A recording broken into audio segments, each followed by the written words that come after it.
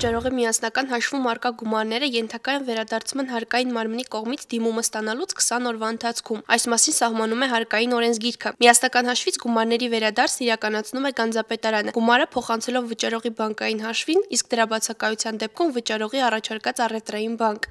որում եթե վերադարձի ժամկետը ուշացվում է 30 օրից ավել, դրանից հետո հաշվարկված յուրաքանչյուր ժամկետած օրվա համար հարկ վճարողի վճարվում է տույժ վերադարձման ենթակա գումարի 0.03%-ի չափով եւ հարկ վճարողի հաշվին հաշվեգրված տույժերը եկամուտ չհամարվող տարեն շահութ հարկով եւ եկամտային հարկով հարկման տեսանկյունից, այսինքն ընդհանրապես հարկման ենթակա չեն։ Յուրաքանչյուր հաշվետու կիսամեկին հաջորդող ամսվա 21-ի դրությամբ հարկային մարմինը հարկ վճարողի դիմումի հիման վրա իրականացնում է միասնական հաշվի մուտքագրման ենթակա գումարների հիմնավորվածության ուսումնասիրություն։ Այդ ուսումնասիրության ժամկետները սահմանվում են ուսումնասիրության հանձնարարագրով,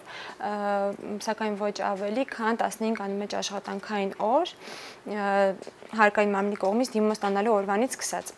եւ որոշ դեպքերում դրան կարող են երկարացվել մինչեւ 10 անմեջ աշխատանքային օրով։ Որոշ դեպքերում կարող են կասեցվել մինչեւ կասեցման հիմքի վերացումը, սակայն ոչ ավելի քան 90 աշխատանքային օրով։ Իսկ որոշ հատուկ դեպքերում, օրինակ, եթե հարցումներ պետք է կատարվեն նոտարիգրապետություններ,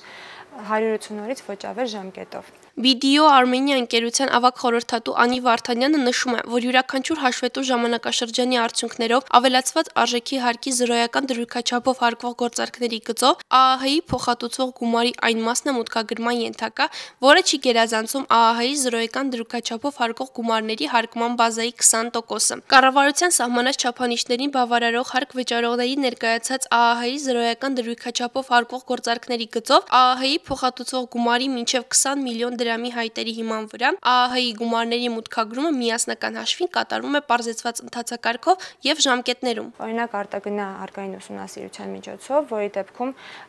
հարկային ուսումնասիրություն իրականացնող պաշտոնատար անձինք գրավոր ձևով պահանջում են ուսումնասիրության ընթացքում իրենց անհրաժեշտ փաստաթղթերի եւ տեղեկատվության ցանկը, որից հետո արդեն որևէ փաստաթուղթ կամ տեղեկություն այլևս պահանջել չեն կարող։ Պետական բյուջեից փոխհատուցման ենթակա շահութահարկի գումարները, օրինակ հաշվարկված շահութահարկի գումարների եւ կատարված շահութահարկի կանխավճարների բացասական տարբերությունը նույնպես մուտքագրվում է միասնական հաշվին։ Իսկ հարկային գործակալների գծով եկամտային հարկի փոխհատուցման ենթակա գումարը հաշվարկվում է որպես տվյալ հաշվետու ժամանակաշրջանի ընթացքում հարկային գործակալի կողմից օրենսգրքով սահմանված դրույքաչափով հաշվարկված եկամտային հարկի եւ այդ նույն հաշվետու ժամանակաշրջանի ընթացքում փաստացի պետական բյուջեի միջոցների հաշվին վճարված ժամանակավոր անաշխատունակության եւ մարության նպաստների գումարների բացասական տարբերություն։ Ֆինանսական խորհրդատու ծրագիրը կրում է իրազեկման բնույթ։ Լրացուցիչ հարցերի դեպքում կարող եք դիմել BDO Armenia ընկերություն, այցելելով Վազգեն Սարգսյան 10 գրասենյակ 114 կամ զանգահարել 010 52 88 99 հեռախոսահամարով։